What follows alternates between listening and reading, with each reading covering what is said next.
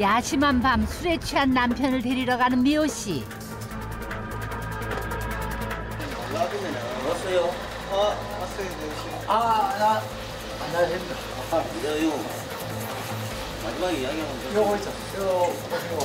우리가 이 신랑을 너무 많이 오래 잡고 있으면 미안합니다. 네. 미안합니다. 오늘 고생했습니다, 형님. 니도 고생해. 아이. 알았어, 형님. 예. 다시 가세요. 님, 내일 뭐, 저, 전화 드릴게요. 음, 바이바이. 예.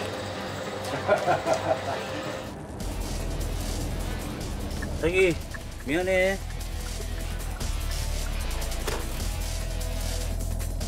삐졌나? 말이 없노?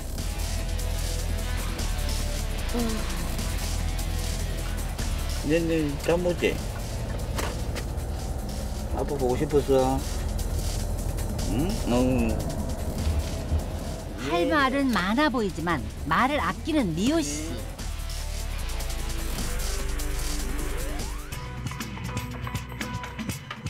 집으로 돌아온 뒤에도 냉랭한 분위기가 이어집니다. 온종일 피곤했던 남편 홍재 씨는 곧바로 기절한 듯이 자네요.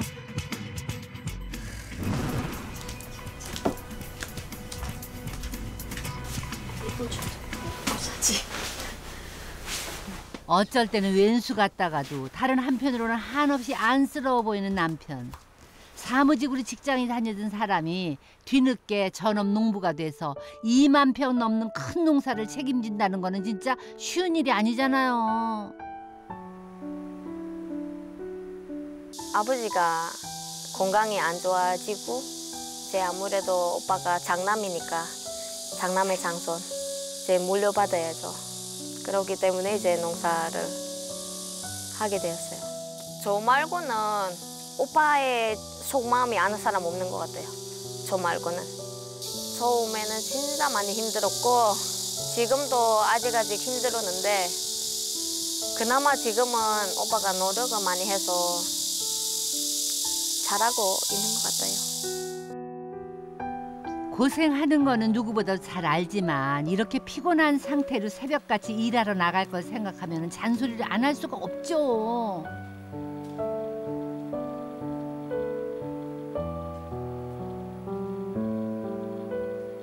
미우 씨와 홍재 씨 미워도 다시 한번 화해할 수 있을까요?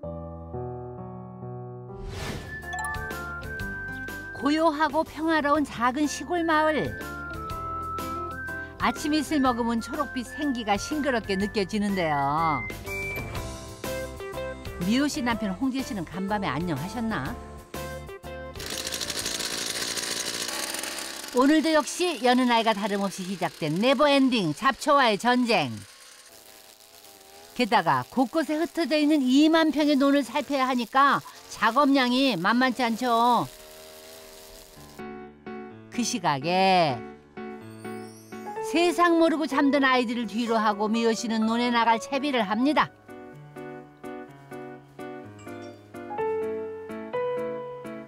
일 나간 사이에 행여나 잠에서 깨어나 울기라도 할까봐 방 안에 센서 카메라를 걸어두고 조심조심 집을 나갑니다.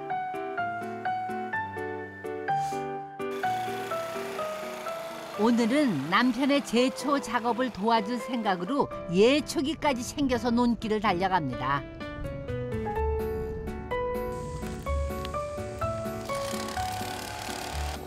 물좀 마셔. 더운데.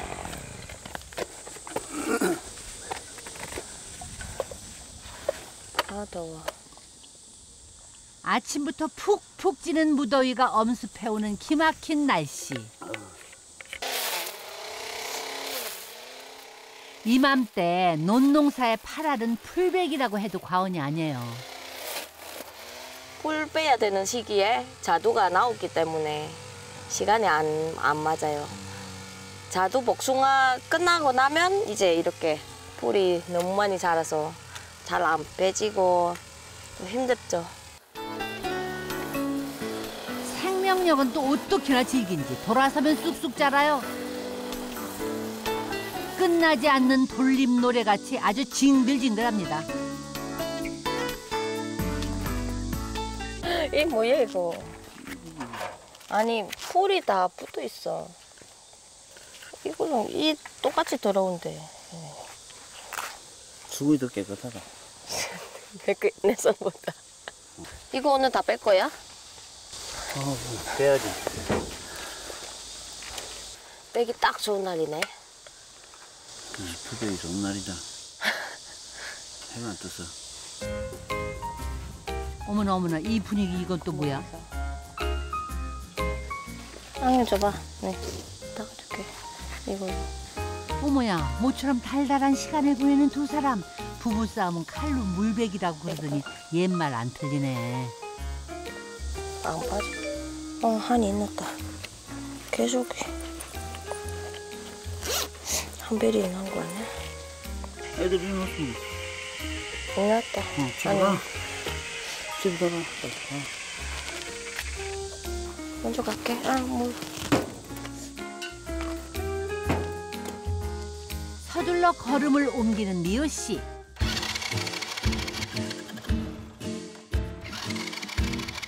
아이고 어떻게 오토바이가 또 말썽 일으키네. 어. 이쯤 되면은 오토바이가 아니고 애물단지야 진짜.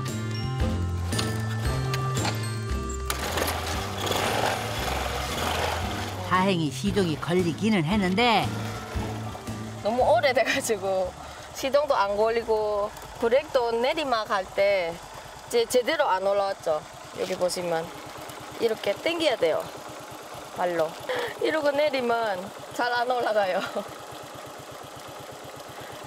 발로 이렇게 당겨야 돼요. 저번에도 아버지가 브레이크 때문에 또 오토바이 타시다가 넘어질 때도 있고 진짜 이거 위험해요. 10년 넘게 흙길을 달리다 보니까 성한 데가 하나도 없어요. 먼저 갈게.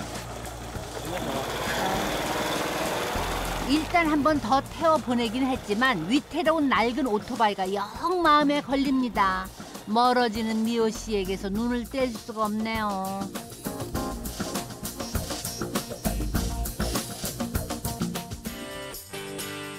그날 오후 바쁘게 채비를 하고 종종 걸음으로 집을 나서는 미호 씨. 오늘은요 두 달에 한 번씩 잡혀 있는 중요한 약속이 있는 날이에요.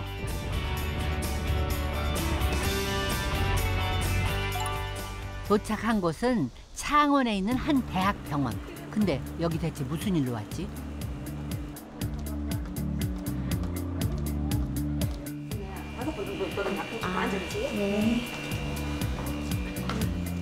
진료 접수를 마치고 차례를 기다리는 미호 씨. 알고 보니까요 통역사와 의뢰인으로 만나서 특별한 인연을 맺게 된 사연이 있대요. 첫째 임신 때도 그렇고 제 현진이 둘째거든요. 네, 둘째 임신할 때도 태어났을 때까지 계속 곁에 있었어요. 아기 낳고 나서 갑자기 강호 선생님이 급하게 아기가 숨 못 쉰다고 그래가지고 저랑 같이 119 따고 제 저 아기 옆에 옆에서 이게 보호자로 이렇게 큰 병원으로 갔어요. 잘 지냈어요? 네. 안녕. 관리는 잘 하고 있네. 아주 깨끗하네요. Ah, ini kakak pintar ngebersihannya katanya. Apa keadaannya bersih? 말을 잘 하나요? Kalau ngomongnya bisa nggak? Ngomongnya apa aja? 어떤 사람? Mm-mm, dia. Iya, papa, mama. Papa, mama, pororo. 그러니까 말을 하죠. Eh, 말을 이제 네, 지금 엄마, 아빠, 뽀로로 이렇게 세, 세 단어를. 소리도 나고. 예, 예, 잘 걷죠? bisa jalannya normal apa enggak? Jalan, iya, bisa jalan. 그러니까 Tapi 지 masih 나이 pelan-pelan. Ah, 지 나이에 말하고 예. 뭐 성장하고 하는 거는 문제가 없을 거라고 생각이 Ah, 들고. ah ya 감사합니다. 예. Umurnya kan 16 bulan. Nah, kalau di yang dokter lihat untuk apa sih dia jalannya sama apa sih nafasnya gitu segala macam tuh udah masuk normal nggak perlu ditakutin terus kenapa ini masih dipasang karena dia kan si pernafasannya kan menyempit nah nanti nunggu besar seperti yang dijelasin sebelumnya Heeh, nanti kalau udah sedikit membesar kita bisa lepas ini aspiratornya gitu 간단한 장치 교체지만은 그새 그렁그렁 눈물이 맺힌 혜진이. 어, 다 끝났어. 일단은 뭐그두 달 뒤 큰 문제 없으면 예, 예. 두 달 뒤에 오시면 될 것 아, 같아요. 예. 네. 네. 감사합니다. 무사히 진료를 마치고 잠시나마 걱정을 내려놓는 시간. 혜진이 엄마 현지 씨가 꼭 하고 싶은 말이 있대요. Sukanya pororo ya? Dari aku eh, di rumah sakit, terutama paling pertamanya i- anak yang kedua ini eh, Mio bantu dari melahirkan dia sampai bolos kuliah waktu itu eh, nolongin saya Eh, Mio yang anterin dari ke, bawa lari ke rumah sakit sini rumah sakit besar karena keada- keadaan darurat anak ini. Ah, aku tidak bisa apa eh, balas kebaikan Mio mobil itu 바람 앞에 촛불처럼 위태로웠던 이 작은 생명을 씩씩하게 지켜낸 위대한 엄마 현지 씨와 미호 씨. 다음에는요, 우리 혜진이가 더욱더 건강해지기를 응원할게요.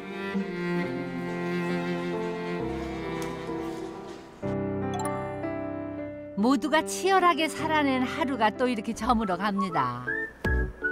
헌데 우리 미호 씨의 오늘은 아직도 현재 진행형. 미호 씨는요 지난해 대학에 입학해서 사회복지학을 전공하고 있어요. 외국인 미호 씨에게 결코 쉽지 않은 난항의 연속이지만 꿈을 위해선 포기할 수 없습니다. 이주 여성이나 아니면 이민자들에게 이제 도움이 좀 될란 될 수 있는 일을 찾았는데 이제 사회복지학과가 그쪽 일이 조금 도움이 많이 됐네요.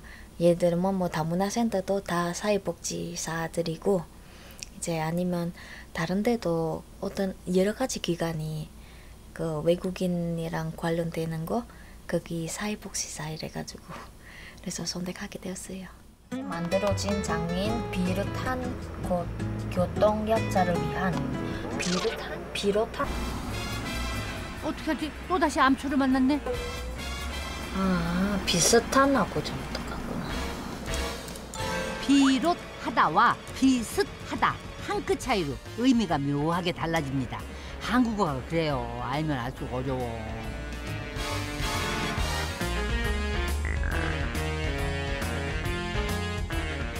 이해가 안 가거나 아니면 아예 모르는 단어도 많고 이래 하니까 더 많이 공부해야 돼요. 한국인에게도 어려운 전공 서적들을 온전히 이해하려니 남들보다 몇 배의 노력이 필요하다는 미호 씨. 참 장하다. 기특하다 진짜. 다행히 우리 가족은 다 응원해주고 다 보내주고 제가 뭘 도전하고 싶으면 항상 응원을 해줘서 진짜 너무 큰 힘이 되죠. 제가 잘 못 챙겨주고 하는 게 조금 미안하죠. 뭐 와이프 활동하는 거뭐 강사도 하고 뭐 통역도 하고 뭐 더 뭐 할 수 있으면 더 적극적으로 믿어주려고 하는 편입니다. 결혼 7년 차 미호 씨의 노력들이 차곡차곡 많이 쌓였네요. 한국에 온 지 얼마 안 됐을 때.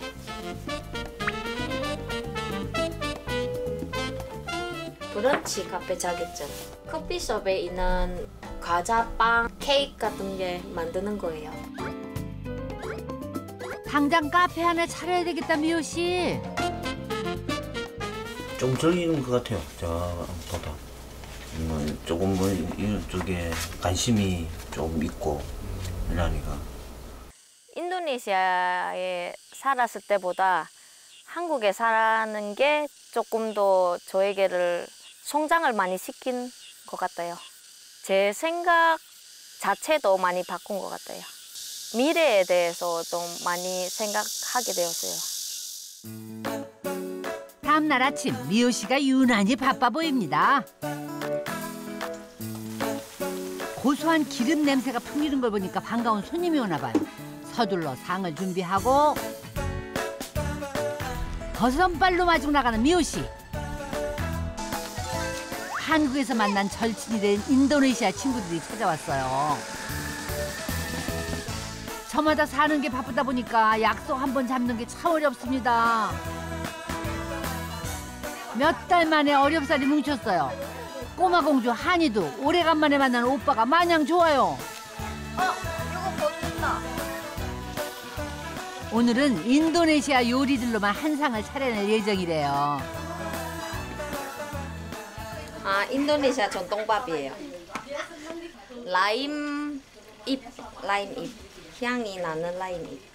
Kirain siapa? 대망의 메인 요리는 인도네시아식 통닭구이.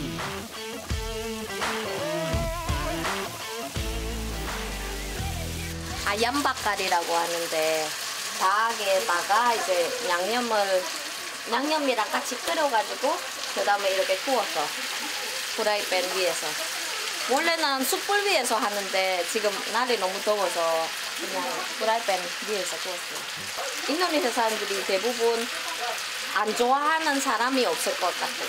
네, 아얌 바kar은 다 좋아해요. 숯불이 없어서 좀 아쉽지만 먹음이스럽게 잘 됐네요. Enak sekali. Kaki sok, sok. 다 같이 둘러앉아서 음식 나누는 모습이 우리네 잔치상하고 똑같아요. 하루를 빈틈없이 살아가는 열혈 워킹맘 미호 씨에게 오늘은 모처럼 마음 놓고 즐기는 휴식 같은 시간이잖아요. 나이도 고향도 제각각인 친구들이 한국에서 어떤 사연으로 만난 건지 나 참 궁금하네. 처음에는 미호 어, 저는 가, 아, 인도네시아 식당에 있는데요. 처음에는 왔었어 손님 손님으로 왔어요. 처음에 언니부터 또 언니하고 맞아, 만나고 맞아, 또 맞아. 네. 언니 아, 친구하고 또 이 친구도 같이 이렇게 안 그래도 언니들이 애들이 먼저 크기 때문에 뭐 가끔씩 뭐 초등학교 생활이 어떻게 하는지 그런 거에 대해서 물어보고도 하고 그래요. 바꾸디 따냐? 그래요. 세상 살아가는데 친구만큼 든든한 존재가 없죠. 오래오래 지금의 우정 잘 지켜가세요. 며칠 후 다시 찾은 미호 씨네 과수원. 복숭아 수확도 이제 거의 마무리돼가는 시점이에요. 아버지 머리 위에 한 개씩. 해마다 여름이면 늘 익숙하게 해오던 과수원 일이지만은 올해는 아버님 건강이 부쩍 안 좋아지시면서 가족들 걱정이 늘었어요. 특히나 이런 폭염 속에서는 더 걱정되죠. 아버지 이거 물 드세요. 살갑고 다정한 며느리 미호 씨 오고 가면서 수시로 냉수도 챙겨요. 아이고 그새 또 땀으로 샤워하셨다. 아이고, 아이고 시원다. 아버지 머리 하지 마세요. 음, 복숭아는요 다른 작물들처럼 한 번에 대량 수확을 할 수 없기 때문에 일일이 사람 손이 많이 필요해요. 그동안은 과수원 일도 벼농사도 아버님 어머님한테 의지를 해왔던 미호 씨 갈수록 책임감이 막중하게 느껴집니다.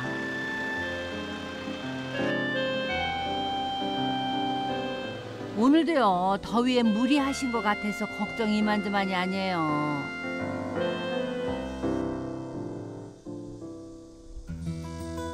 아이고 먼저 내려가서 쉬고 계신가 했더니 떼약볕 안에서 또 깨를 말리시네 또. 두 분 다요 눈앞에 일이 보이면 지나치지를 못하는 부지런한 성격이세요. 아이고 이러다가 병나실까 걱정해 진짜.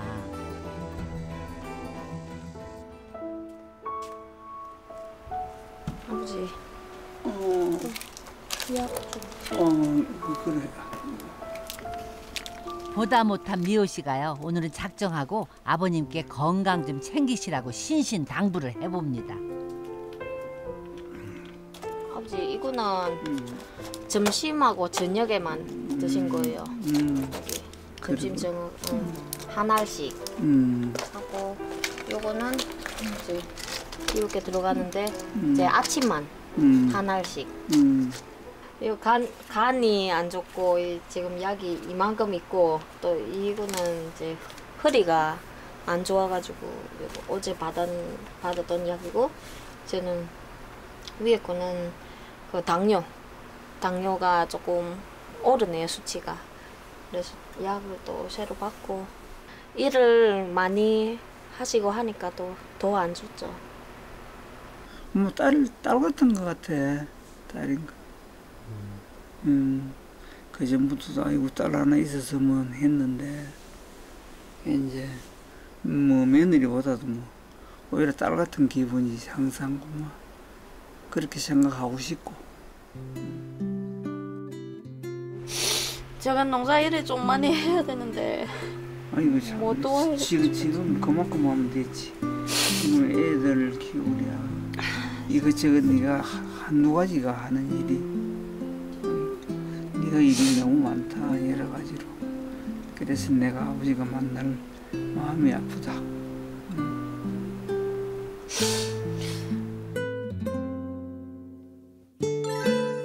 어린 시절에 외할머니 손에서 자란 미호 씨는요 결혼 후에 시아버님을 통해서 비로소 아버지의 정을 느끼는 거예요. 그냥 아버님이 아니고 이제 아버지 같아요 완전. 뭐 진짜 제 아빠 같아요 그냥. 이제야 뭐 약간 아 이제 애- 아버지 생긴 그런 마음이 있었는데 또 건강이 안 좋으니까 무서워요. 오래 같이 못 있을까 봐 겁 많고 마음 여린 우리 며느리를 봐서라도 오래오래 건강하셔야죠. 손주들 대학 갈 때까지 건강 유지하시겠다는 약속 매일 다짐하면서 지키셔야 돼요, 꼭요.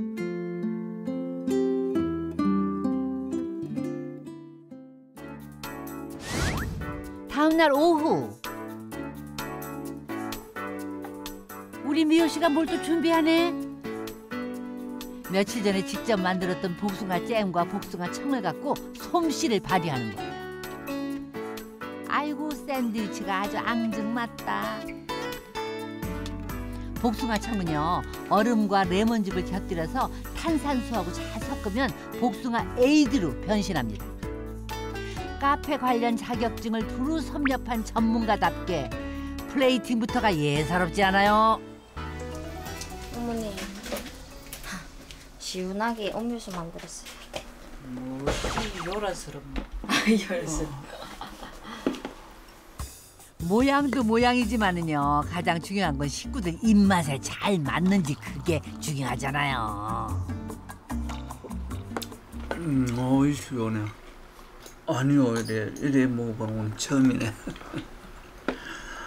음, 맛이 또 색다르네. 어머님은 어떠세요? 아, 진짜 새콤해. 레몬하고 복숭아하고 맛, 맛 나누기는 새콤하게 맛있네. 새콤하죠. 일단 복숭아 에이드는 성공적인 반응인 것 같네요. 샌드위치는 또 어떤 평가를 내리실지 기대가 됩니다. 맛있네. 이, 이 완전 팔, 팔, 팔아도 되겠네. 야, 커피숍 같은 데는 저기까지 팔면 음, 잘 팔리겠네.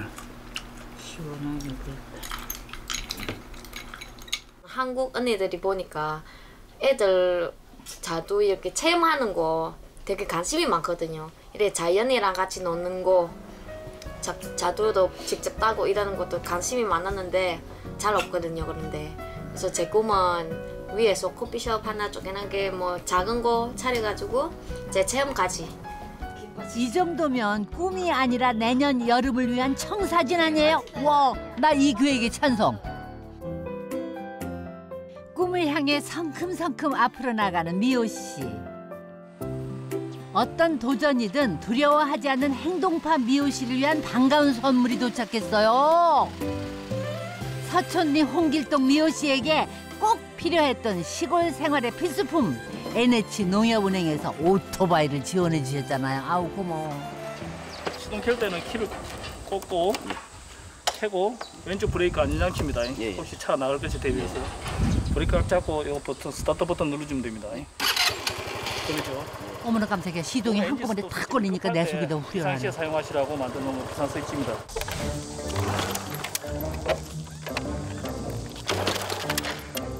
요 애물단지 오토바이 때문에 얼마나 고생을 했어요. 구석구석 성한 곳 하나 없이 위태롭게만 했던 낡은 오토바이예요. 안전을 위해서라도 튼튼한 새 오토바이가 간절히 필요했던 상황이죠. 이제 진짜 안심하고 어디든지 마음껏 가세요. 미호 씨, 새 오토바이 마음에 들죠? 충전기. 이야. 조명이 충전기까지. 아, 이거는 그거. 장 보러 가면 여기 걸어놨구나. 어때요 예전 오토바이랑 비교는? 에이, 비교 안 되죠. 난 보기만 해도 든든하네. 타고 달려볼까?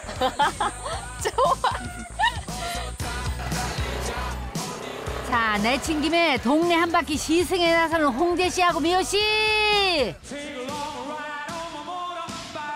와, 청춘 영화가 따로 없다 진짜. 보기만 해도 싱그러운 여름이구먼. 두 사람의 앞길이 지금처럼 푸르고 푸르게 푸르게 펼쳐지기를 제가 응원합니다. 한이한테, 한별이한테도, 나한테도 사랑해줘서 고맙고, 사랑해요.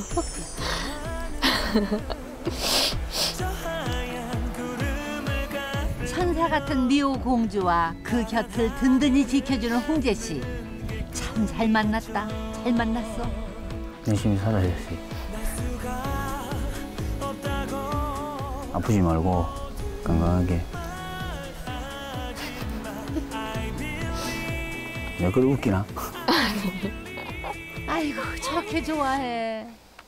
진흙 속에서 피어난 연꽃처럼 이 가족의 애틋한 사랑이 그 어떤 시련에도 흔들리지 않고 단단히 뿌리 내리기를 바라겠습니다.